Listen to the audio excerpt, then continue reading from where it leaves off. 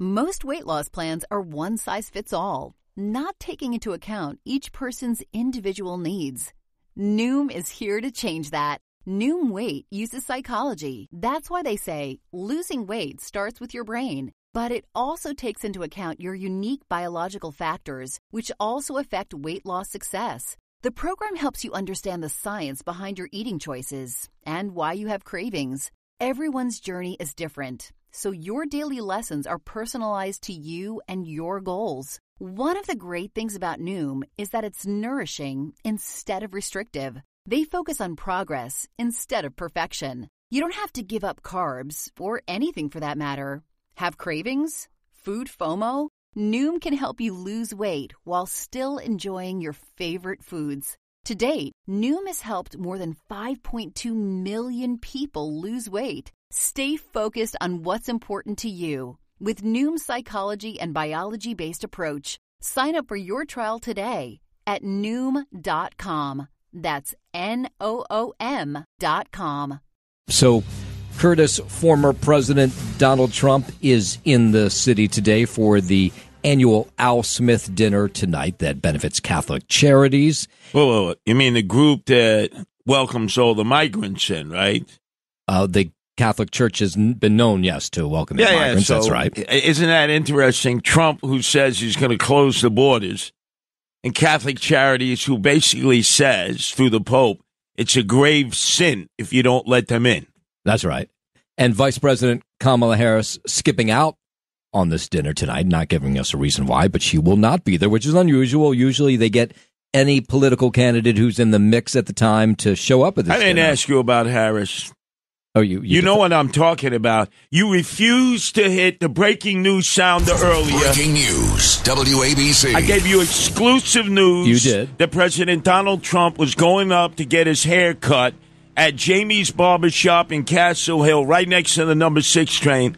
I even showed you photos of sharpshooters on roofs. Did, did, I not? You did. That could have been a sharpshooter from anywhere, though. And you refused to break that well, story. No. Refused to break well, it. Well, I wouldn't use the word refuse, but you know, as the guy who works in the news department, I'd like to confirm things before I go live with them. Sometimes you've been known of your history of doing talk radio to not confirm items before you go on the air. Have. I been them. wrong yet? You're not wrong about this one. Remember, I have You're an right. agreement with John Catsimatidis. If I'm wrong, I'm gone. That is true. And in, with this case, uh, no worries, no fears. You are not gone. We have got confirmation that uh, our former president Donald Trump is up in the Bronx, getting uh, visiting a barber. no, shop. no, he's getting a haircut. no. He, there's no yes, way. he is. There's no way. Don't he's getting you remember a in haircut. 2016, all the talk show hosts were touching his I hair remember that, yeah. to see if it was real hair. Now he's wanting to prove to all the Latino out there who believe him to be el jefe, machismo, that yes, he's going to sit in the barber shop of the Dominican barber shop and get a haircut. Okay, if he gets a haircut, I will donate a thousand dollars to the Guardian oh, Angels. Oh, this is great. Oh, man, he's getting it. I'm telling you, a fade. He's There's getting a not a fade on the side of his head that He- says Trump. yeah, not a chance that they are gonna. He's gonna let them touch their hair. Trump his hair. 47, right? He's got some sort of full time person who works with his hair. There's not a chance Oh, that not this a chance. barbershop But will be able you, to touch I gave it. you the early from the Reverend Ruben Diaz Sr. Uh, he's the one who set up the rally in Crotona Park, remember, in the South Bronx. And yet, you, Doubting Thomas, That's right. you hesitate. I want It's another job to be a breaking doubting news Thomas. sounder here. Breaking news, WABC. We had this Right. early in the morning. Oh, no. I was going to rush in with Sid. Sid had a guest on. Right. And then he ran out.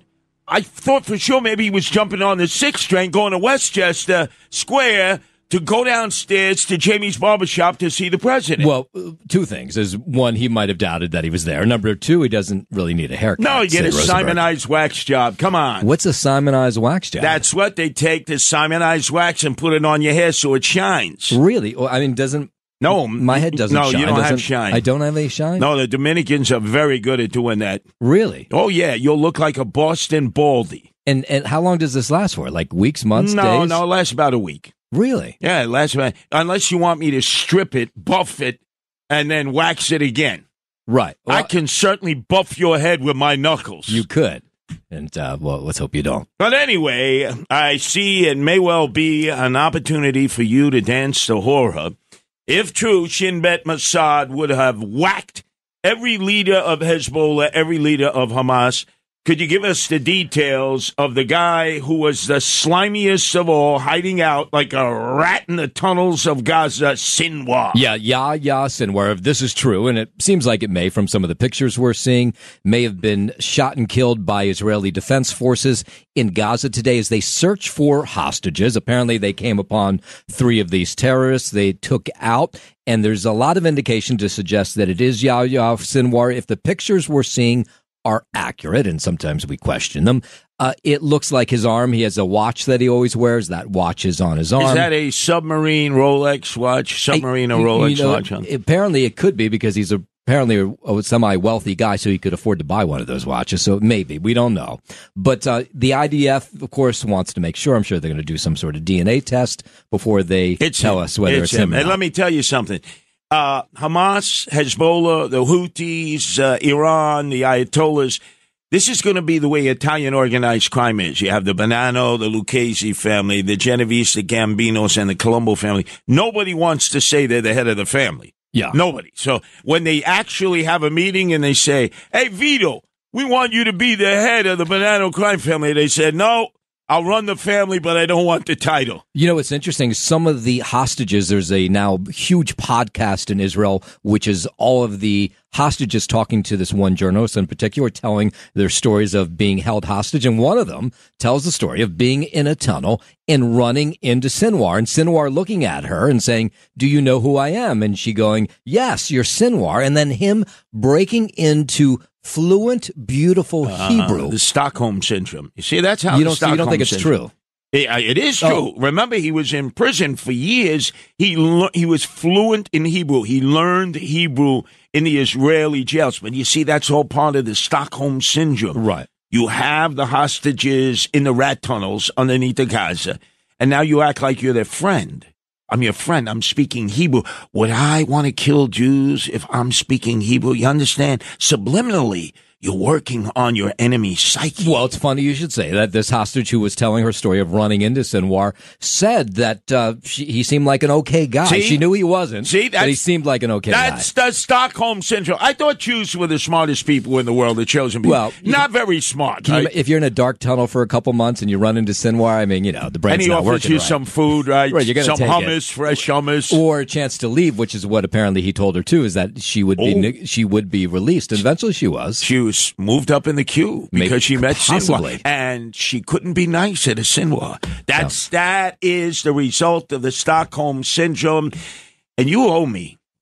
You owe me big time. Well, oh, you know, not only do I owe you apparently for the uh, Trump story, which I did not go with until I verified. Yeah, you see, you had it first before anybody else. Uh, I- courtesy of the Reverend Ruben Diaz Sr., who gave it to me way ahead of the rest of the news. But, well, the doubting Thomas here. Yeah. Well, I got to check, check, check. Well, he does wear a cowboy hat. I never trust people. Wait a second. So hats. this was like a launch of a NASA missile at Cape Canaveral. Check, check, double check, triple check. Right. I gave you the exclusive. right again. You could have bro- You could have played the breaking news sounder. Breaking I news.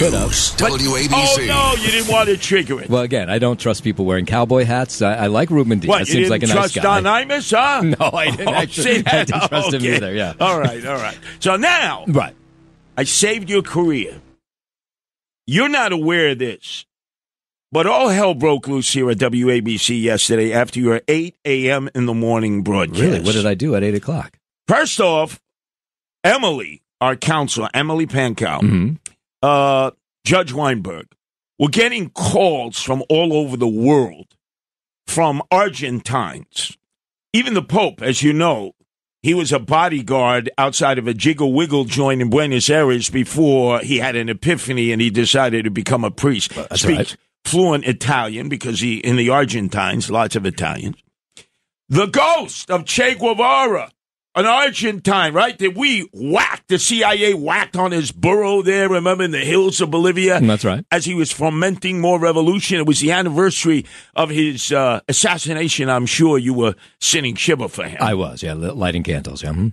All Argentines were upset because of this newscast yesterday. Groups of migrants have been mugging tourists in Times Square. Police say they're working to take down the group that are part of an Argentinian gang. I want you to play that one more time, please. Groups of migrants have been mugging tourists in Times Square. Police say they're working to take down the group that are part of an Argentinian gang. You understand why they were so upset with you? uh, Yes, I misspoke. It, the are members of a Venezuelan gang, not an Argentinian gang. Uh, you have to uh, trend de agua. You got that trend de are. I'm familiar with that gang. Yes, Venezuelan gang. Mhm. So they come downstairs, Judge Weinberg. this is after I had made this. This after you left. misspoke. Right. Okay. This after Mhm. you're not, you're unaware of this. Right. Judge Weinberg comes running down, counsel to John Catsimatidis. Emily Pankow, chief counsel to John Catsimatidis. What are we going to do? The Argentine consulate wants an apology. They're going to be putting demonstrators outside with signs, a Noam Laden. They want you, they want you terminated. And I know what you would have said originally about the Argentines. You would have had flashbacks. Am I right? Well, that's true. Two things I would have said to them is one, I won uh, Broadcaster of the Year this year, so you're not going to get it That, that that ain't gonna stand for nothing. This uh, you, you created a geopolitical Right. incident. The second part I would say was I remember very clearly from uh, you know sitting in Hebrew school and from learning about the Holocaust is that Argentina uh, hid a lot of the Nazis after World War That II. is true. That is true. I remember Evita Peron. They were Nazis. Yeah. you're correct. So if I diss them for a moment or two during my eight o'clock news class, uh, that'd be and you forget bad. when Hezbollah blew up that that Jewish compound, the synagogue, uh, the Hebrew school, and remember they got away with it Yeah. because the Argentines would not cooperate No. with Mossad and Shin Bet. yeah, I but now you have an Argentine president who drapes himself in the Israeli yeah, he's flag. very pro-Israel, He was yeah. at the uh, the Holocaust Memorial uh, right there in Israel. So I did an intervention. There's nobody who knows more about gangs than me, right? right. Tren de Agua. Did you see what Fox News posted? It seemed like a National Geographic special on this gang, and it was all me, I did. They they went to you to get the solid information, and you actually Well- gave them did good stuff. They didn't go to me. I called in a favor. Oh, I thought you called them saying you no, I called in a favor. I Right. said, you know me. Nobody doubts the fact that I know more about street gangs than anybody else in the United States because I've battled them all over with the Guardian Angels. So I want you to do me a solid because our news director is on the cusp of being fired. He created a firestorm geopolitically by blaming the Argentines for the gang situation in Times Square. That's right. Let me do, just don't edit me. Let me just go off. If you notice in the back, it's the WABC logo. So it's in cooperation with Fox News Channel. And I basically did a National Geographic special. I, I, I spoke for about 20 minutes uninterrupted about the history of this Venezuelan gang, the roots of it, how they were able to recruit 11, 12, 13 year olds. And then we distribute it to all of the Argentines who were upset with you.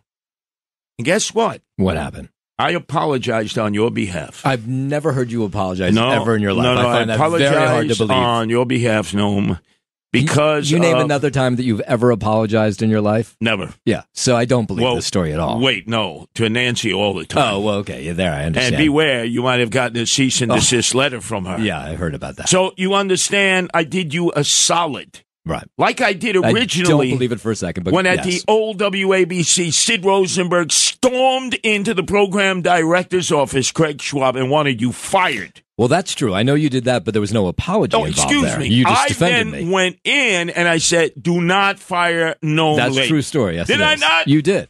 But little did I realize that you were already meeting with Mike Lupica, and the plan was, was. to have him do mid mornings and not Sid Rosenberg and not the great Bernard McGuirk, who we miss so dearly. It was going to be Lupica and Laden in the morning. You traditor, you you Judas. That's How right. many pieces of silver? Thirty, huh? something like that. Yeah. So you know something?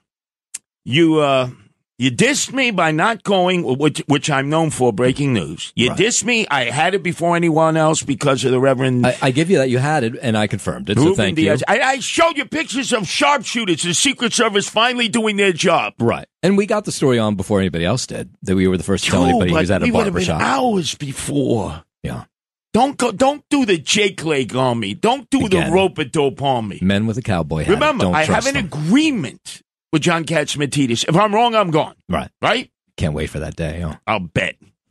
and now I've saved your career. You did. Thank you. I you- I don't believe that part of the story Uh, at, at all. Could I hear that? Could I hear that report about the gangs again? I want you to hear it. Uh, Yeah. Blaming everything that's gone wrong in Times Square with these Pee Wee uh, gangs on the Argentines. Groups of migrants have been mugging tourists in Times Square. Police Mm-hmm. Right. say they're working to take down the group that are part of an Argentinian gang. Yeah. Well, you can see Argentinian, Not even Venezuelan. close to Venezuela. Ecuador, not. yes. Right. Colombia, Right. yes. You're right. That's true. British. Guiana, yes. Once in a long while, I make a mistake. I understand that, but you created a geopolitical issue. yeah, I just I and I don't doubt that. They wanted. I just know you They did not wanted a general assembly meeting on this to m- clean the record, to make the record straight. It's not Argentine Yeah. Tinians. Yeah, I doubt. I just know for a fact you did not apologize. I've never seen you apologize to Uh, anybody. I apologized on your behalf uh, and for WABC because I didn't want to suit right. because you know I can't afford. right. Well, I owe you. Okay. How about that? okay, very good. Now that you owe me, Right. Oh, by the way, where is uh, James Flippin? Is he having Oh, postpartum my depression? James Flippin. Oh, he's not here. You notice that obviously Yes, because. I'm sitting in his chair. But what I'd like to do, hmm because I've been very nice to Met fans this year, uncharacteristically. I really liked how they did against the Atlanta Braves, an excellent team, and the Milwaukee Brewers, an excellent team. That's right. And how Lindor was definitely your MVP. He didn't deliver yesterday in the second inning, bases loaded. Lindor, strike three, you're Yeah. out, swing it. But I remember 1963 like it was yesterday.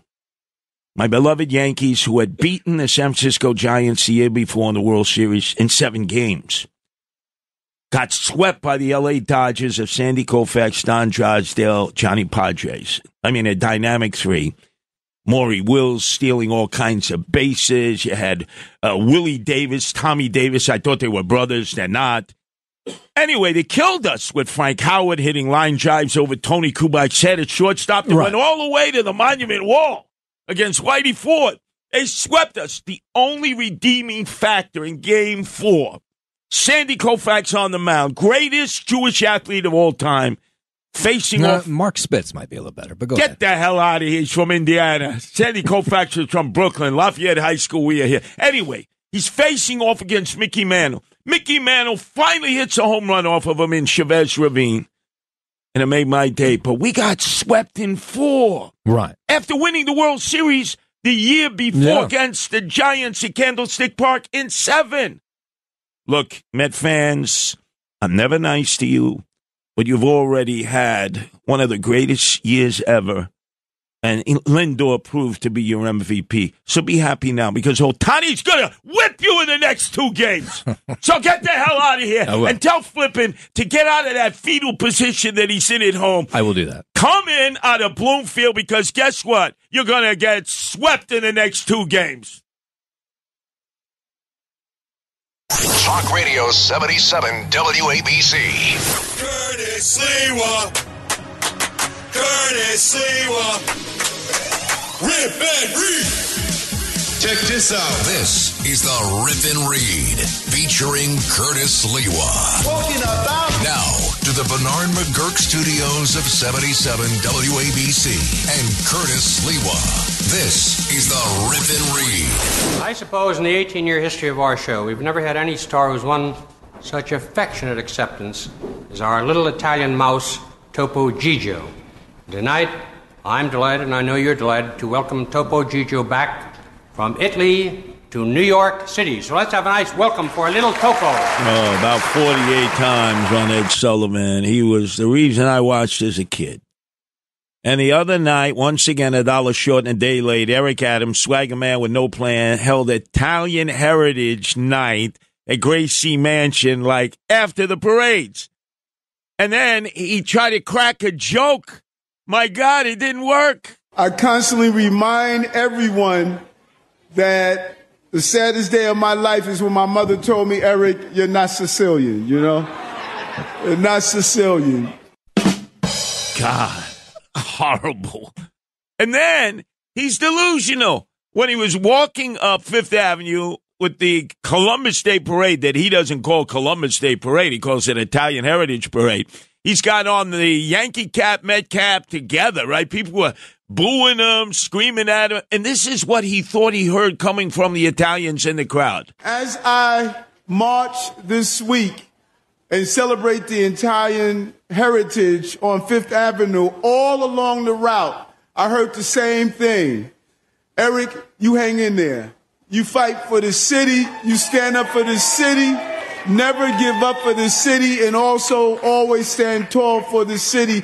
You know, it's obvious he doesn't speak Italian. Like the great boxer Marvin Hagler, black from Brockton, Massachusetts, home of champions, who went over and did spaghetti western movies at the end of his career. He didn't understand Lou. He didn't understand Justin. They were cursing him in Italian, calling him a jadru, calling him a Gavon, calling him a chooch, calling him words I can't even repeat on the air. This guy, Eric Adams, is delusional. He thought the Italians were saying nice things about him. This guy is definitely in Yiddish a schmendrick. Check this out. It's the Rip and Read featuring Curtis Sliwa. Talk Radio 77 WABC. Talk Radio 77 WABC. Now to the Bernard McGuirk studios of 77 WABC and Curtis Sliwa. Curtis doesn't know about you, but he rips and reads. This is the Rip and Read.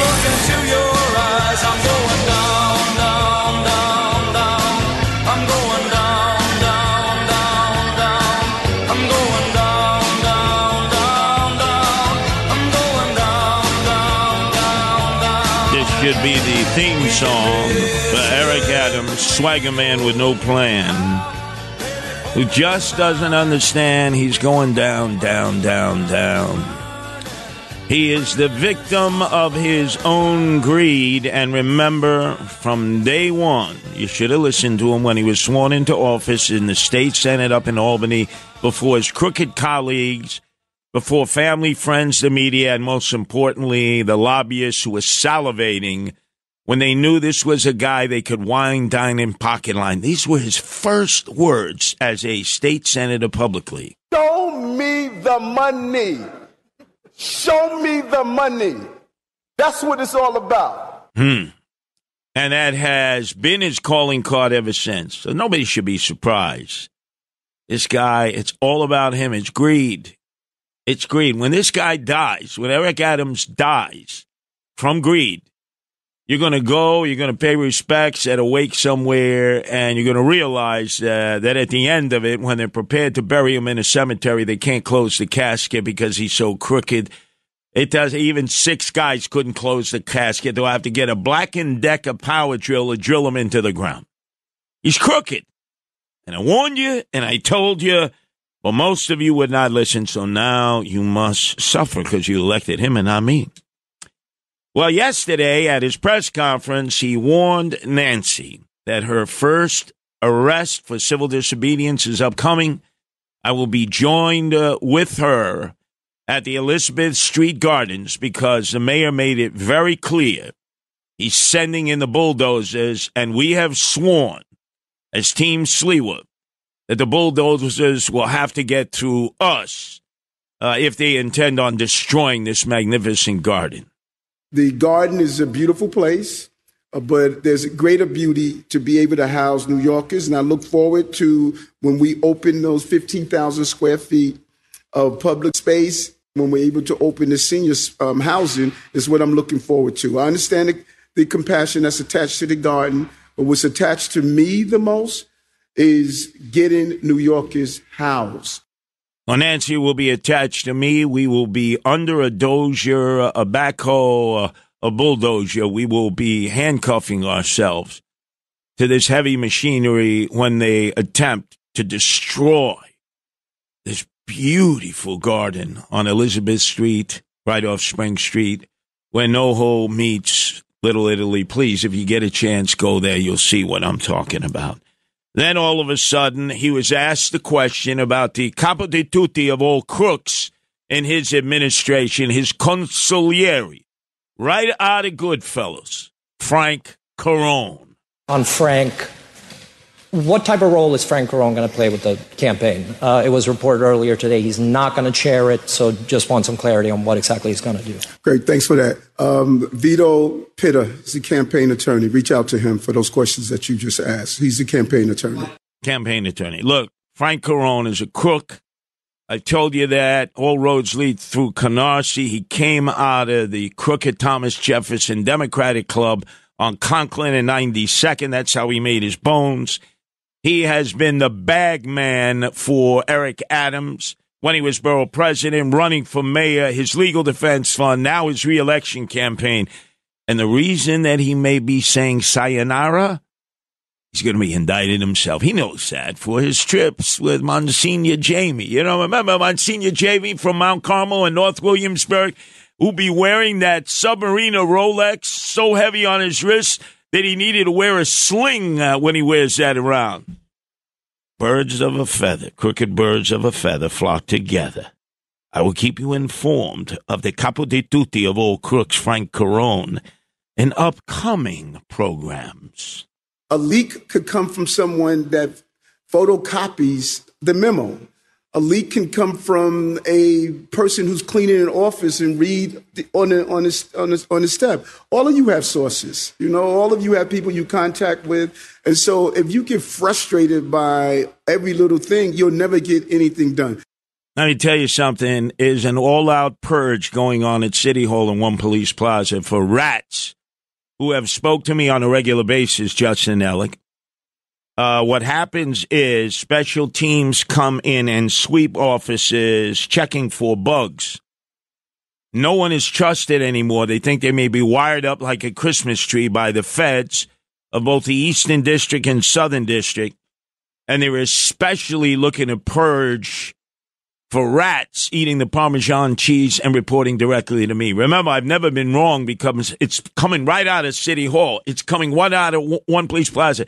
Uh, please play that again, uh, uh, Lou Rufino. I want people to hear the threats, even though he's talking at his press conference. He's really he's reiterating the threats that are being made to my rats. Now, nobody knows who my rats are, but they're doing this blanketly. They don't know who's ratting to the feds, who's ratting to Curtis, who then Nancy does a deep dive on, double checks, triple checks the source of the information, and then we bring it to all of your attention on the most powerful radio station in the nation with my agreement with our owner operator, John Catsimatidis. If I'm wrong, I'm gone. They're hoping. They're hoping to feed me wrong information so that I implode. Well, guess what? Listen to the mayor again as he sends out a message to all rats. A leak could come from someone that photocopies the memo. A leak can come from a person who's cleaning an office and read the, on the, on a, on a, on a step. All of you have sources. You know, all of you have people you contact with. And so if you get frustrated by every little thing, you'll never get anything done. Come on a minute, Eric. You're frustrated. How does Sliwa know all this stuff? How does he know it before anybody else? Who, who's ratting us out? And it ain't anybody making copies for you. It's not the maintenance people. It's people directly in your inner circle. Eric, you're looking at them every day. You're talking to them every day. They're ratting you out. And if they're ratting you out to me, want to bet they're talking to the feds, then he doubled down on that. No, it doesn't frustrate me at all. If people want to call you and give you a tip on something, they have a right to do that. There's no law that says you cannot give someone a tip. There's a law if you break the law and giving out information that you should not be giving out. But it doesn't frustrate me. Oh, see? See? See what he's saying, Justin Alec? If you're a whistleblower, we'll put you in jail. That's the code language here. Like the Pentagon Papers. Oh, we remember that. We grew up in that area, Eric Adams.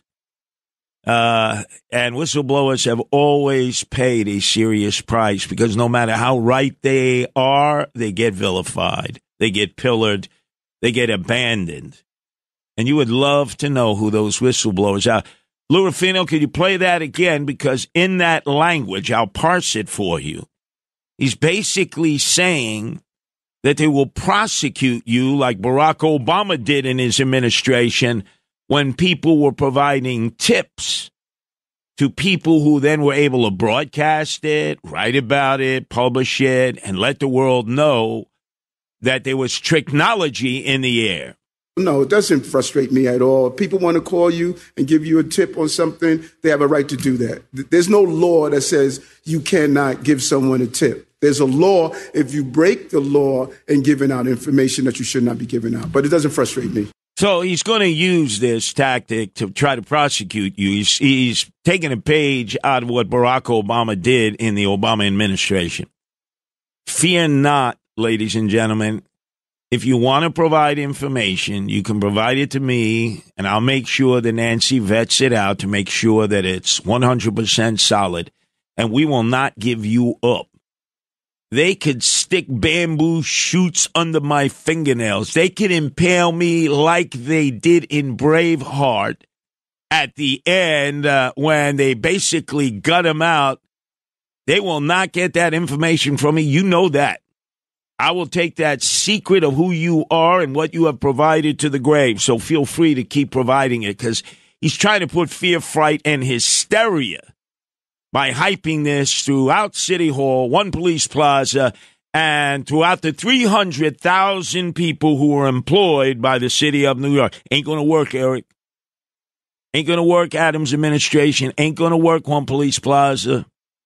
So many rats who are eating the Parmesan cheese because they know you're wrong. They know that you all, you all got side hustles. You're all trying to enrich your bank accounts. You're all, you all are putting your beak in the trough. You're open to get wine, dine, and pocket line. That's what this is all about.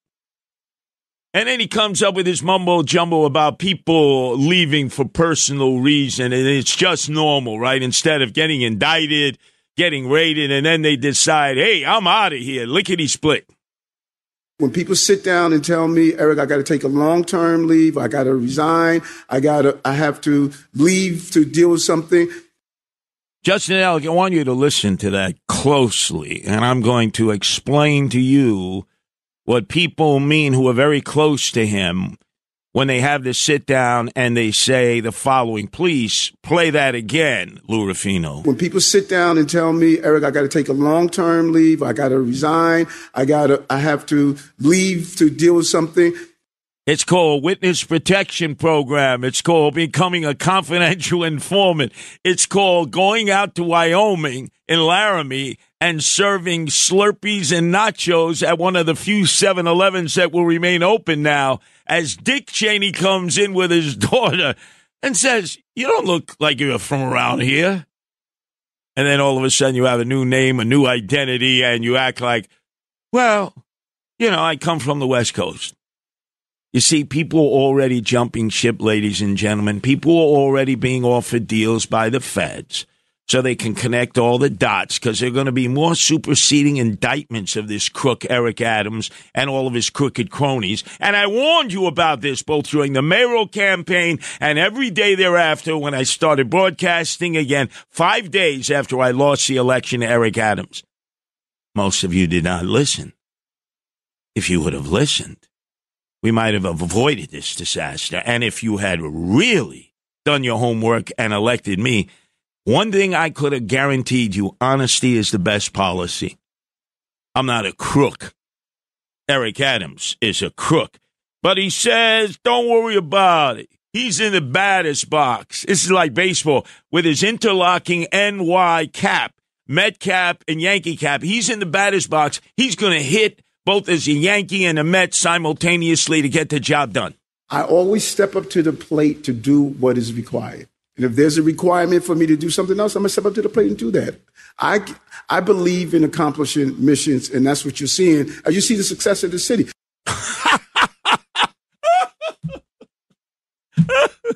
Anyone on stage, we're, we're not surviving, we're thriving. This guy is delusional. Is he taking Aaron Rodgers uh, LSD? I mean, come on, seriously. This guy is in a drug induced psychosis. And then finally he said, he wants to earn your trust, ladies and gentlemen. Would you trust a pickpocket?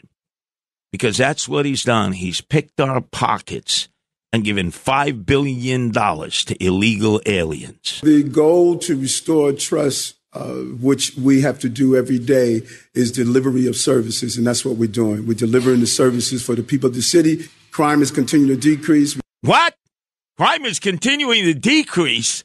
Again, he's delusional. Delusional.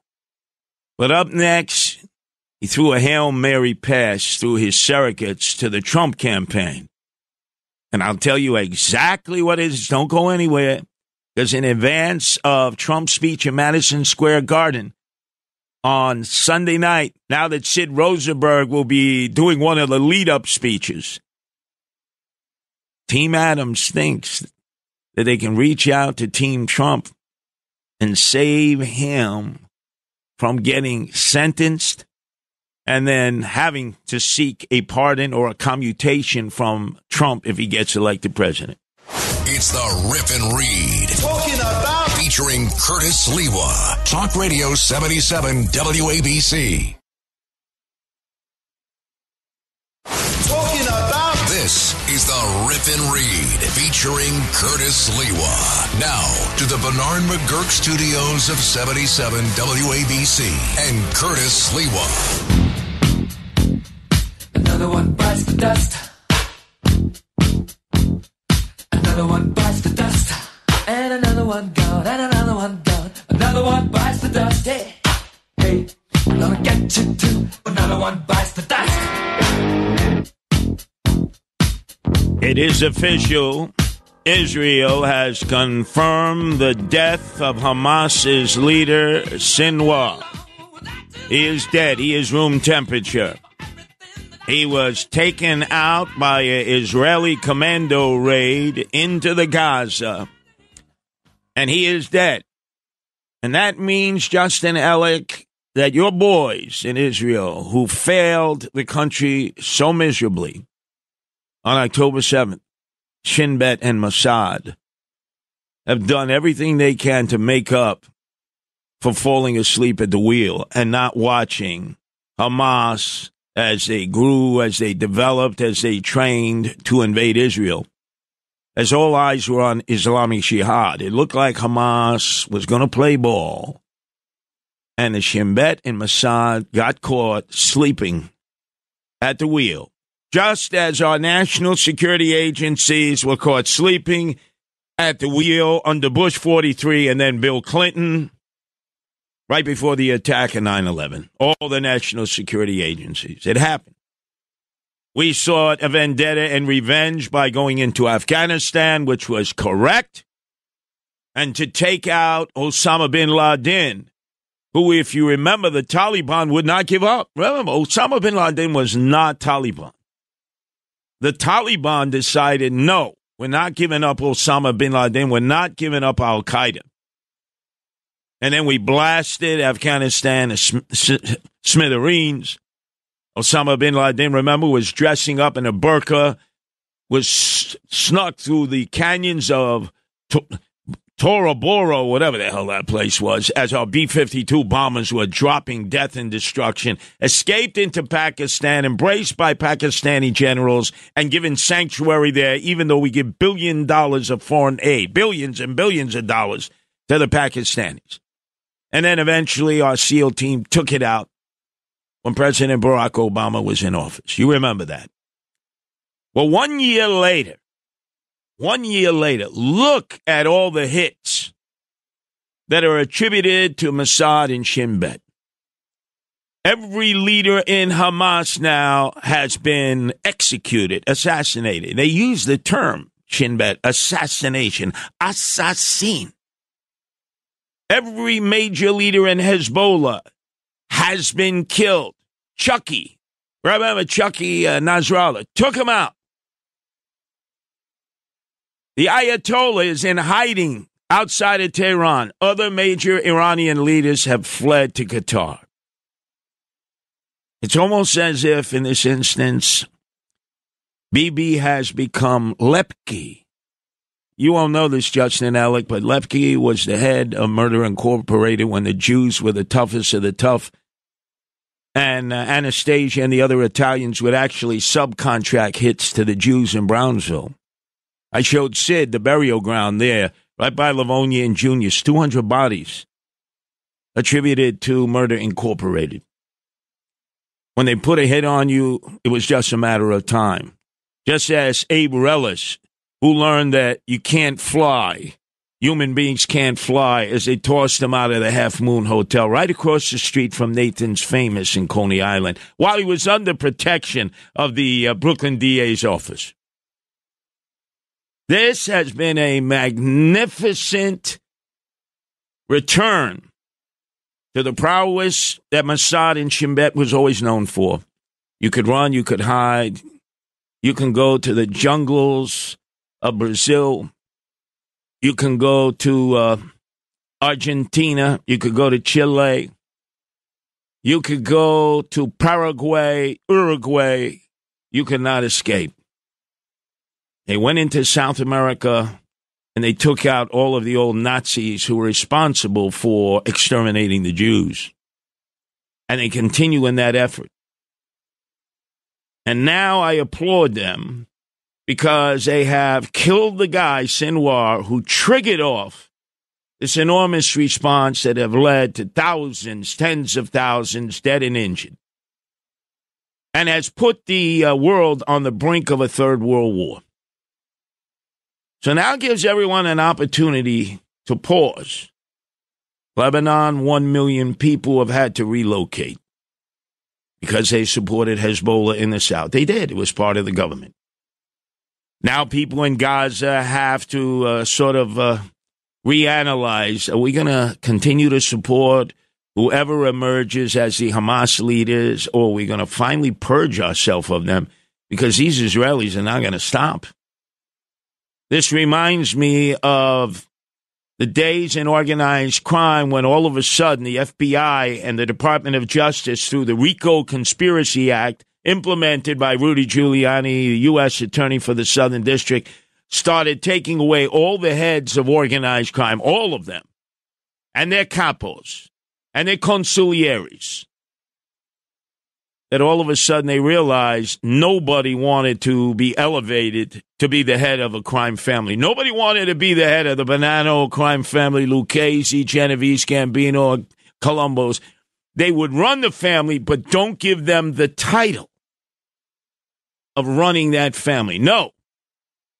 And that's the situation that the Houthis are in now, Hamas, Hezbollah, all the surrogate groups of Iran including the Ayatollah in Iran who is in hiding, fearing that he may be next. Good job done, Israel.